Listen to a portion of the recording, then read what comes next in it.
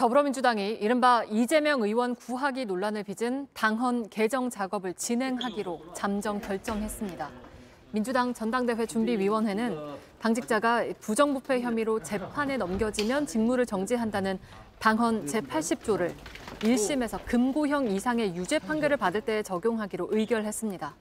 야당에 대한 보복 수사 가능성을 염두에 두었다는 설명이지만 명분 없는 개정이란 비판이 나왔습니다.